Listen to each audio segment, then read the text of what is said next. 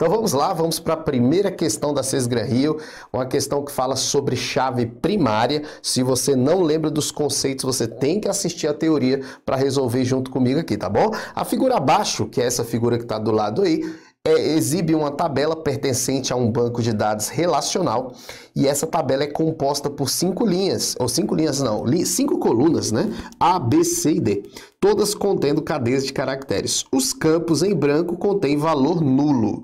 Então, se você olhar ali, você já tem alguns campos com valor nulo. Ó, esse aqui que eu coloquei em amarelo está nulo e esse aqui também está nulo. Tomando por base apenas valores presentes na tabela, qual conjunto de colunas é uma chave primária válida? Você tem que lembrar daquelas características da chave primária, né? A chave primária, PK Primary Key, ela não pode ter valor nulo. Então não pode ter valor nulo. Valor nulo. Então, se você já sabe que não pode ter valor nulo, os lugares que estão nulo ali você já pode descartar. Então não pode ter valor nulo. E a outra exigência é qual? Não pode ter valor duplicado. Não pode ter valor duplicado. Então a gente vai ter que analisar esses dois fatores de acordo com os itens, tá?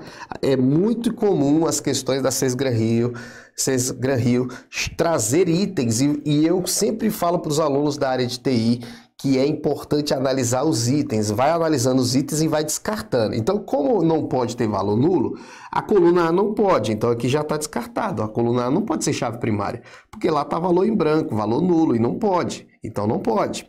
Aí você olha, professor, e o A e o B? O A e o B também não pode, porque se o A tem valor nulo, eu não posso fazer uma chave primária, uma super chave envolvendo os dois tendo um valor nulo. Então não pode. Aí você fala, ah, então professor, a letra D também não pode. Então as opções que tem a letra D eu posso cortar? Exatamente, ó. A coluna D não pode ter chave primária. Então aqui eu corto ela aqui, ó. Só vou ficar com dois itens. Vamos analisar o item C que é a, o agrupamento de duas colunas, da C e E. Professor, posso ter chave primária com duas colunas ou mais? Sim, a gente aprendeu que nós temos chave primária composta, super chave. E aí, claro, aqui está espaçada entre as colunas, mas não tem problema. Vamos lá, C e E. Vamos fazer a composição de C e E. Eu vou pegar aqui uma outra cor diferente na, no meu pincel aqui para a gente testar. Vamos lá, C e E. Então, o C e E seria esses dois aqui, ó. 1x 77P. 2x 88P. Vamos analisar os outros que tem 2x, ó. Esse aqui tem 2x também, ó. E aqui não repetiu, então não tem problema. Aqui tem 2x também, ó. E aqui não repetiu ainda, ó. Se você olhar lá, ó, 66P do 22Q e 88P não repetiu. Então aqui tá tranquilo. Agora olha essa aqui, gente. Eu vou até mudar de cor para você ver, ó. Ó, 2x aqui de novo, ó eu estou conferindo os 2x, ó. 2x, se você olhar, ó, lá tá 88p e aqui tá 88p também, ó.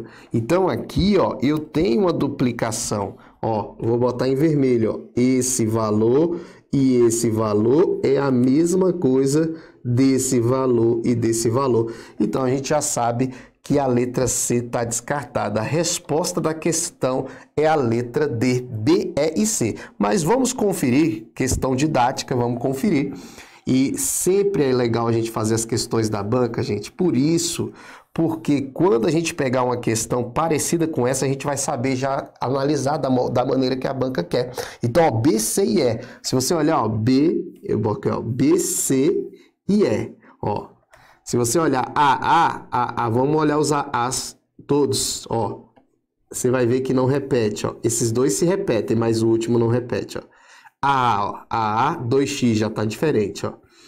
Ah, beleza. O A a gente já conferiu. Vamos conferir o B já com outra cor de pincel aqui. O B, ó, B, 2x e 88P. Vamos ver BB. BB nem tem outro, então nem, nem se repete. Vou pegar outra cor aqui para gente analisar. C, se você olhar C3x 55p, ó, C2x 88p, já não tem nada a ver, tá vendo? Vamos para a letra D, ó. Letra D, DD 2x 22q. Aí olha o outro D, ó, DD 5x já tá todo errado, já tá todo errado, todo diferente, então não é. E o último que sobrou, ó, EE 1x e 22Q. Então a nossa resposta é a letra D.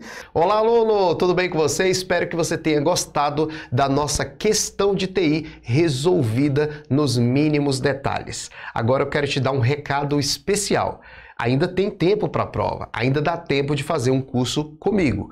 Eu vou colocar na descrição do vídeo o link do curso completo com teoria e exercícios, aí você escolhe aquilo que você achar que é mais relevante para sua prova, ou você escolhe o Gabaritando TI. Esse sim eu recomendo para você, porque ele é um curso mais rápido, ele vai ter teoria ali dentro das questões, mas a resolução de questões é prioridade. Então os dois links vão estar na descrição do vídeo. Ó, galera, Toma muito cuidado, a prova de TI não vai vir simples, então tem que estudar baseado na banca e baseado no concurso para não perder tempo. Então, dá uma conferida no link você vai ver que o valor está bem em conta. Clica no link abaixo, vai!